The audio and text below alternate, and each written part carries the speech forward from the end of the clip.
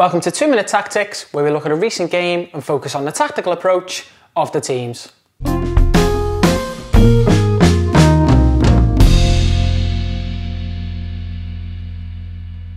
Hi guys, today we're going to be looking at a defensive mid block, but before we get into today's video, make sure to give us a like and subscribe, and if you missed last week's video, click on the link above. So we're going to be looking at how a defensive mid block sets up, so let's get two minutes on the clock, and let's go.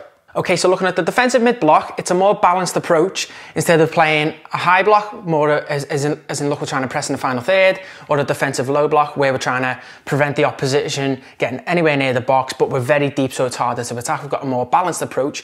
We're going to look at Liverpool's style when they defend in the middle third. Obviously, we do know that they can high press as well, but in the middle third, they have their three central midfielders who, who, are, who are all capable of covering the ground quickly. So if you look at Fabinho, Jordan Henderson, James Milner, Georginio Wijnaldum, Alex Oxlade-Chamberlain, who's now a centre midfielder.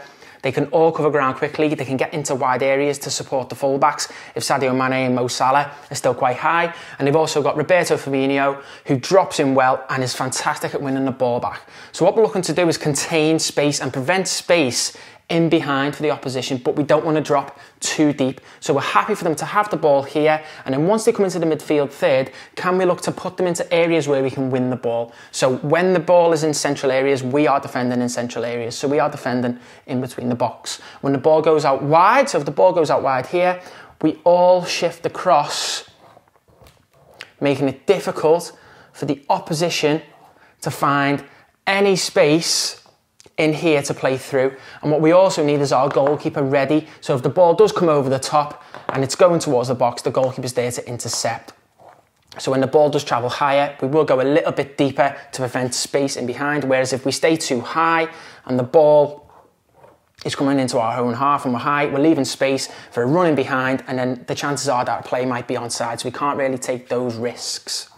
It also gives us the ability to drop deeper and to press higher. So with a team like Liverpool, we've got the ability to press high because of the front three, and but also when the front three do press high, they want to show the ball into central areas. Why? Because they know that's where there's more bodies, and it's also where they can win the ball back because of the players in here who are eager to win it back. So if a ball gets played to the centre back and Salah and Mane are both pressing, they will show the ball inside, making it difficult for the defender to get it out wide to the fullback. And if the ball does go inside, they will drop in here so that the ball can only go backwards again. And this is where Roberto Firmino can support the press. And if it's a three on one or a 3v2 situation, the defenders normally can panic and you can give the ball back to them as well.